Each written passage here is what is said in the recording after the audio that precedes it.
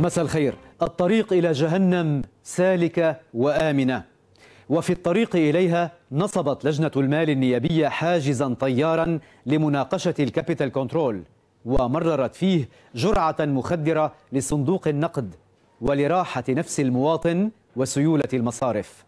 لعب النائب إبراهيم كنعان دور شيخ الصلح بين ودائع الناس والمصارف ورمى الأمر على كاهل لجنة مصغرة. واللجان في غنى عن التعريف. لكن الكمين المحكم الذي يقود مباشرة إلى الأبدية من دون المرور بجهنم هو فقدان الدواء.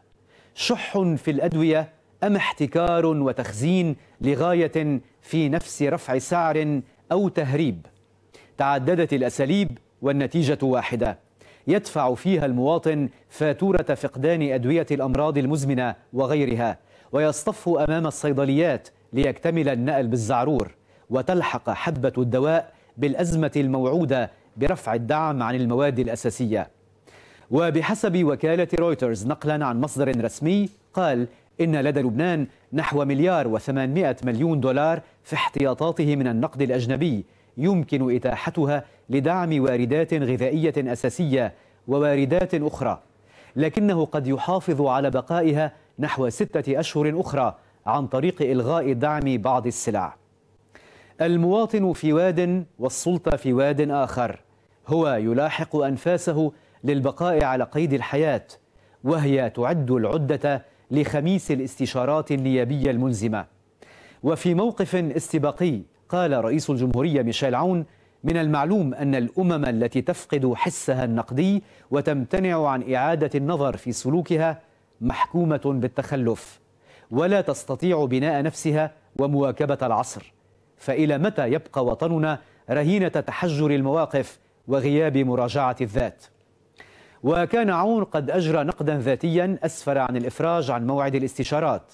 وبتحديده الخامس عشر من الجاري أصاب رئيس الجمهورية بضعة عصافير بحجر واحد. فأرضى الفرنسي ورمى حجرا حرك ركود المبادرة الفرنسية. قطع صلة الوصل مع الانتخابات الأمريكية فلم يرمي بالاستشارات إلى ما بعد نتائجها. وطمأن الرئيس المنتظر بعد التكليف من أن صلاحيات موقعه بالحفظ والصون. والأهم أن الاستشارات ستحصل على مسافة يومين من السابع عشر من تشرين تاريخ انطلاق ثورته. فامتص غضب الشارع الواقف بالمرصاد. كتلة الوفاء للمقاومة وفي اجتماعها الأسبوعي أبدت كل حرص على التعاون في سبيل تكوين الحكومة وتشكيلها. ودعت الجميع إلى الابتعاد عن نهج الكيدية والعزل والإقصاء الذي يضر بمصلحة الدولة والوطن والمواطنين.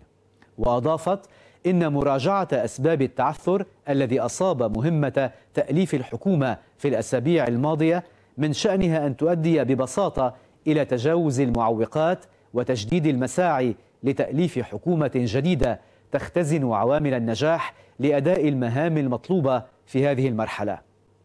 خميس الاستشارات متروك لأسراره وخميس حكم الفاسد يسترجع وبمفعول رجعي مآثر بدر ظاهر المدير العام للجمارك الموقوف على ذمة التحقيق في جريمة المرفأ. فما الذي جمع بدر ظاهر بأمير الكبتاغون؟